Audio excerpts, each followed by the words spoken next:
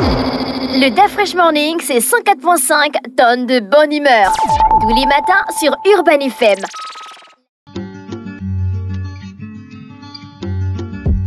Sur les 104.5 Urban FM, la station urbaine, nous sommes dans la, la rubrique culture avec René Ruth. Nous sommes dans la rubrique culture. Aujourd'hui, nous recevons Monsieur Michel Pécoin, qui est un musicien, conteur, formateur à l'art du conte. Il est président de la Fédération des conteurs du Gabon, membre du réseau international des communicateurs traditionnels d'Afrique, de l'Ouest et du Centre. Donc, c'est un acteur culturel majeur dans le domaine du conte au Gabon. Il était formé par Monsieur Bourgarel Jacques, qui est aussi un conteur français, et Monsieur Mathias Ndembe, qui est un conteur formateur gabonais. Donc, avec lui, on va parler du conte au Gabon dont on a tenu à l'inviter. Mhm, D'accord, Monsieur Pécoin, bonjour. Bonjour, bonjour. Comment, va- comment allez-vous? Ouais, ça va Très bien. C'est quoi le conte, selon vous? C'est quoi le conte? Oui. ben, Le conte, c'est une histoire. C'est tout. Ouais. Mais donc pourquoi c'est particulier alors qu'il y a beaucoup d'histoires sur Terre? Voilà. Alors, donc, le conte, c'est une histoire d'abord. Comme on dit, euh, toute histoire, euh, tout conte est une histoire, mais toute histoire n'est pas forcément conte. Ah, bah voilà, finalement. À partir de ce moment, on s'est dit que dans- quand on est dans l'univers du conte, en fait, c'est l'univers où tout est possible. Où tout est possible, c'est-à-dire que euh, tout objet peut détenir des sentiments, voilà, des pensées, des sentiments. Un arbre peut parler, le vent peut avoir des sentiments, voilà. Donc tout ça, ce sont des personnages, mais alors on est beaucoup plus dans la dimension symbolique. C'est des objets symboliques qui vont donc constituer une histoire avec un objectif précis, c'est de transmettre soit euh, une moralité, une, no- une notion de sensibilisation, voilà. Est-ce qu'on peut attribuer ça à de la fiction? Oui, bon, de la fiction, si on veut, parce qu'on est dans le fantastique, on est, Ouais. dans, on est dans le merveilleux, voilà. Donc, c'est pas forcément des choses euh, dans la vraie vie euh, vraie. Lorsqu'un arbre parle, un arbre n'a jamais vu parler. Mais quand on est dans le conte, on, on- on est d'accord de voir l'arbre parler parce qu'il va jouer un rôle, un rôle majeur. Voilà, c'est comme des animaux qui parlent, c'est comme euh, tout objet qui parle. Donc, oui, on peut dire que c'est une sorte de fiction, mais ce sont des éléments qui, qui interviennent avec, bien entendu, un objectif bien précis. Et c'est quoi la différence avec les fables? Avec Les fables, quand on parle des fables. Non, on est, on est dans le même, ce même univers. C'est le même univers. hein. C'est c'est pratiquement le même univers. Voilà, c'est peut-être. euh, Les contes se ressemblent tous. Il y a toujours des animaux qui parlent, des arbres, que ce soit en Europe, en Afrique ou en Amérique. On associe toujours ce mélange de. de- Pas de nécessairement, symboles. pas Parce que dans. Maléfique, ouais. Bon, euh, Maléfique avec, elle s'appelle comment encore? Ah, Angelina Jolie, oui. Maléfique avec Angelina Jolie, il y a des animaux qui oui, bien parlent. sûr. Voilà. Ça, là, on est dans le fant- La femme et le- la le- demoiselle et le dragon, c'est un Le, conte. le petit chaperon rouge aussi. Voilà, tout ça. Mais juste que vous avez une culture très, très occidentalisée. Hein. Ah Ah, non, nous on connaît les contes gabonais. Non, on- si on tu blagues avec nous, on te sort. tu blagues avec nous, on te sort ça Oh, tout ok. de suite. hein. Koulou la Non. tortue et la panthère, c'est un Parce conte. que j'aurais bien voulu qu'on prenne quelques exemples de chez nous, mais on Oh, est dans ok. le petit Quand on chaperon parle de. rouge, on a- Ok, ouais. Koulou la tortue et la panthère, c'est un conte. Voilà, ça, ce sont des contes. Voilà. Ce sont des contes dans lesquels on voit bien les animaux euh, s'exprimer. Mm-hmm. Mais ce ne sont pas dans tous les contes, forcément, où il y a les animaux qui s'expriment. Voilà. Il y a des contes où il y a uniquement les humains, n'est-ce pas, qui, qui s'expriment. On peut intervenir quelques, euh, quelques personnages de la forêt, Mm-hmm. comme Bibi Soli, c'est-à-dire les ogres, euh, et- etc. Mais voilà. Toi, tu connais Koulou la tortue? Et la panthère. Tu connais dit- l'ouragan Oh, ça me dit quelque chose, mais j'ai pas lu. je ne pense pas. euh, Ogoula l'ouragan, tu ne connais pas Non, je ne pense pas avoir lu. Il y a des... Mhm. On a écouté, mais je ne pense pas avoir lu. Claude Sundiata qui est Oui, Aquaben. Mhm. Oui, on faisait des exposés aussi dessus. Ok. Euh, direct, c'était tout. Quoi. En tout cas, les contes de Rapona Walker, tout le monde a moins regardé. Jeter un coup d'œil. Oh, Euh. c'est trop gros le livre. On a nos contes du village que nous, on nous a appris, les vieilles et tout ça, là, nous Voilà. raconter. Est-ce qu'on peut personnaliser un conte? C'est-à-dire Est-ce que vous pouvez prendre un conte de, de Raponda Walker et le personnaliser à, à votre façon? Oui, mais ça, c'est lorsqu'on rentre dans la dimension artistique, qu'on parle de l'art du conte. C'est-à-dire que le conteur, euh, lorsqu'il a un conte, il essaie de voir comment le travailler, comment le rendre euh, beaucoup plus attractif dans, dans l'art de, de, de conter. Voilà, il y a des éléments qui peuvent faire intervenir. C'est comme les contes traditionnels. hein. C'est des contes qui sont aujourd'hui avec euh, l'arrivée de la néo-oralité. On a eu la naissance des néo-conteurs. Et donc, ils font quoi? Qui font généralement dans ce qu'on appelle la réoralisation des contes traditionnels. Traditionnels. Donc ces contes traditionnels sont réoralisés, mais qui, qui gardent effectivement toute la substance, toute la quintessence culturelle euh, et même euh, donc pédagogique qu'il y a à l'intérieur de ces contes. À Mais quel moment on dit qu'on est un conteur? Quand on compte les contes. euh, à quel moment on dit on est un conteur? De- oui. On est un conteur, euh, disons. Moi, je peux me réveiller un matin puis décider de faire des comptes, et, compter des comptes, dire des comptes, et puis on va me considérer comme un conteur. conteur Ou bien il faut des éléments spécifiques. Bon, on peut vous, vous considérer comme étant quelqu'un qui est en train de dire un conte. Mhm. Ouais. Euh, Peut-être pas forcément comme un conteur, mais comme quelqu'un qui dit un conte. Parce que le conteur, euh, finalement, puisque aujourd'hui c'est une profession, donc c'est un art. On parle de l'art du conte. Parce que. Quelles sont les techniques qui définissent que ça soit, Voilà, que ça soit un art qu'on sort de, de la pratique de- du conte traditionnel, comme on disait au village, le papa ou la maman euh, euh, qui, qui, qui racontait autour du feu euh, dans une langue particulière pour une communauté bien précise. vous voyez et donc là, on avait des codes qui, étaient bien précis. Or, aujourd'hui, on est en zone urbaine avec des communautés différentes. Oui. C'est un public varié sur le plan même culturel. C'est des différentes sensibilités culturelles. Et donc, le conteur aujourd'hui a besoin d'être formé pour comprendre son environnement.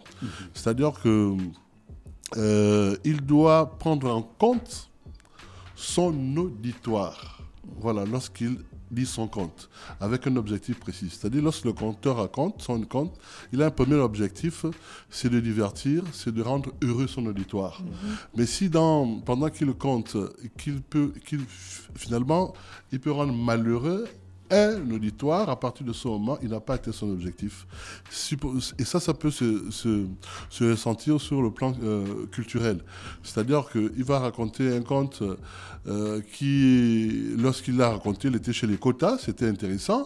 Mais quand il va, par exemple, chez les, je sais pas moi, chez les Allemands, alors ça peut choquer. Pourquoi? Parce qu'il y a des éléments culturels qui peuvent passer ici, mais ailleurs qui sont très, qui constituent un véritable scandale. Et donc le conteur doit prendre en compte toutes les sensibilités culturelles de son auditoire.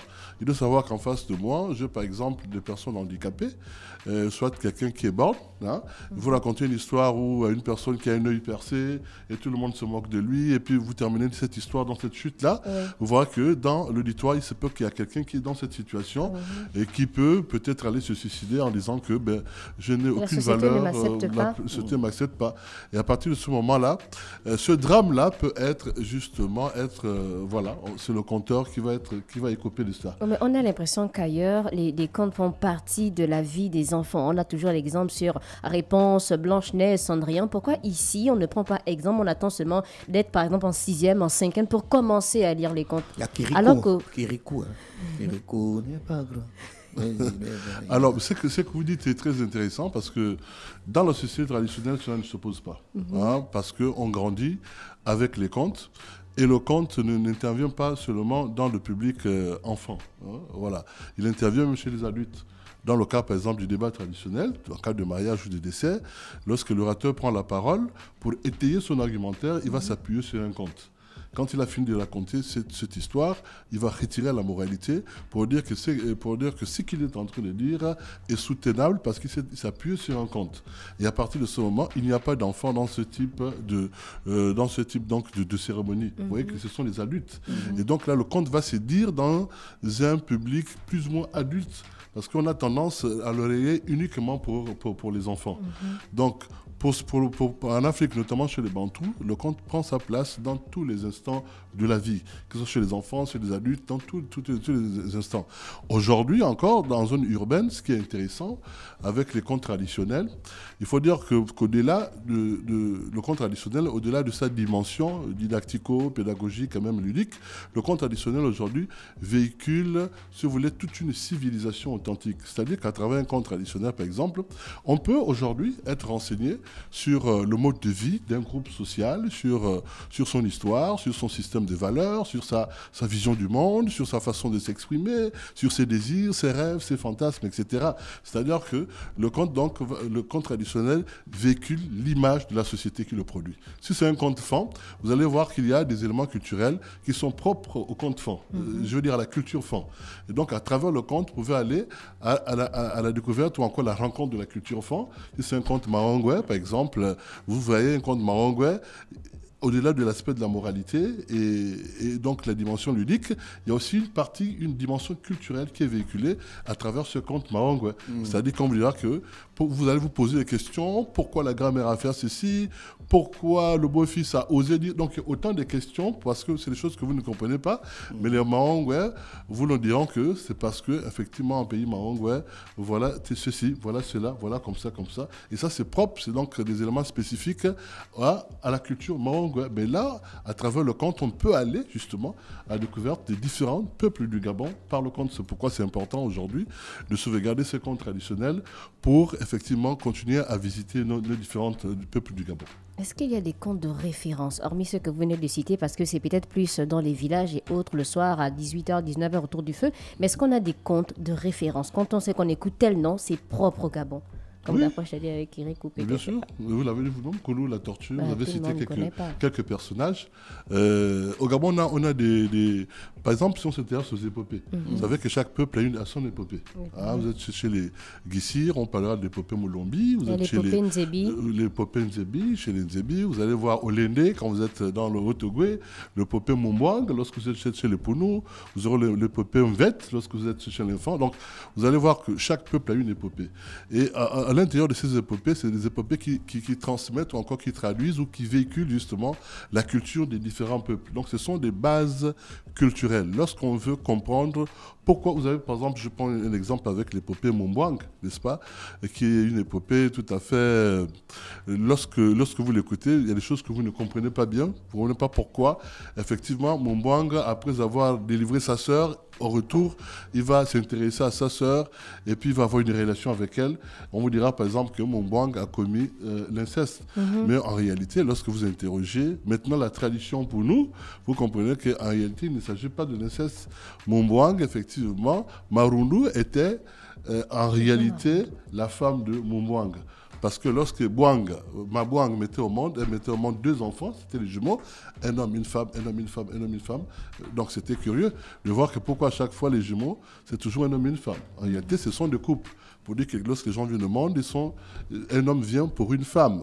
Mais on ne comprend pas pourquoi Mumbwang, effectivement, va finalement épouser sa sœur.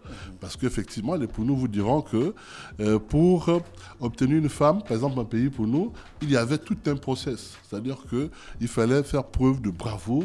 On vous dira, par exemple, d'aller en brousse, vous allez abattre l'arbre le plus grand, vous allez tuer euh, la bête la plus rare, etc.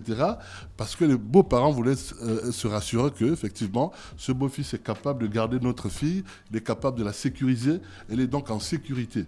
Et donc, on va voir tout le cheminement justement de Mombouang lorsqu'il va délivrer sa sœur au pays des dièvres caisses. Vous voyez, pour ceux qui connaissent l'épopée, vous allez comprendre que finalement, il ne s'agissait pas de sa sœur, il s'agissait de la quête pour obtenir sa femme, parce qu'à la fin, il va être récompensé. Il va donc avoir Marundu, donc Maruma Denzambi comme femme.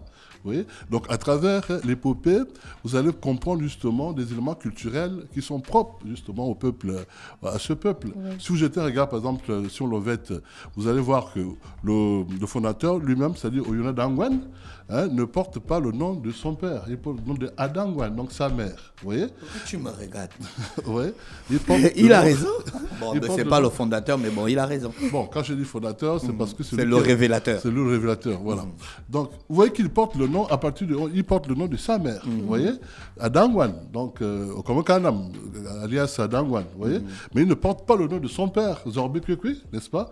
Mais on comprend parce que effectivement, Zorbi qu'on appelait Bifoise, n'avait pas épousé justement euh, Adangwan, vous voyez, et donc parce que sans mariage, effectivement, en pays franc, en réalité, et là, ça relève d'un aspect de la tradition chez les femmes. Voilà. Mhm. Donc, à travers un conte, à travers une épopée, on peut aller, ce qu'on dit, à la découverte justement d'une culture, euh, d'une culture par le conte. Vous voyez, d'où la nécessité effectivement de conserver ces contes traditionnels parce que ça nous permet toujours de revisiter et de comprendre nos systèmes de valeurs sur le plan culturel. Est-ce que depuis vos débuts, l'art du conte a évolué Depuis quel début Vos débuts dans, la, dans le conte. Euh, est-ce que l'art du conte a évolué Disons que Euh, alors, on parle Du d'abord jour de... où vous avez commencé ou jusqu'à aujourd'hui Bon, moi, ce n'est pas moi qui commence, puisque je, je suis arrivé dans, dans l'art du conte. J'ai trouvé des aînés, n'est-ce pas, qui étaient déjà sur, sur le terrain. Des aînés comme euh, Mathias, Mathias Nemé, comme Christiane Libina, père à son âme aujourd'hui. Euh, alors, euh, Julien Nubika, je peux citer des, gens comme euh, Jean-Romain Guémené, voilà, que j'ai trouvé. Et quand je suis arrivé, je me suis euh, intégré justement dans, leur structure. Et puis on a travaillé ensemble, on a travaillé ensemble. Et on a quand même senti, il y a eu quand même une véritable évolution dans, dans la pratique de l'art du conte, oui. Parce que avec quand même des distinctions internationales, par exemple Mathias Dembé, qui a eu une médaille d'argent au jeu de la francophonie de Madagascar, donc en catégorie conte. Vous voyez que euh, le conte gabonais a, quand même été primé, mais il a, a été toujours présent dans plusieurs, euh, plusieurs manifestations sur le plan international. Le conte gabonais a, été, a toujours été présent. Mais aujourd'hui, il y a un véritable travail qui, est- qui est en train de se faire et qui continue d'ailleurs à se faire, qui est celui de la prise de conscience de la nécessité effectivement d'insérer justement euh, la pratique du conte auprès de nos apprenants, c'est-à-dire dans des écoles, peut-être aussi des lycées, etc., pour comprendre qu'il ne s'agit pas que le conte comme texte euh, pour, se divertir ou bien pour, euh, pour, pour, pour, pour la pédagogie, mais aussi le, conte comme texte pour euh, être en phase avec ses réalités culturelles.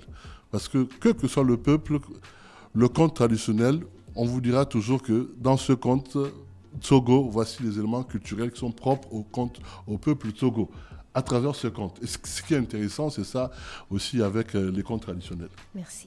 Merci euh, Michel Pécoin, conteur avec nous ce matin dans la rubrique Culture de René Ruton. Vous souhaite de passer une bonne journée à l'écoute des programmes du Ban FM. Merci, Dibot Dineni. Le DAF Fresh Morning, c'est 104.5 tonnes de bonne humeur. Tous les matins sur Urban FM.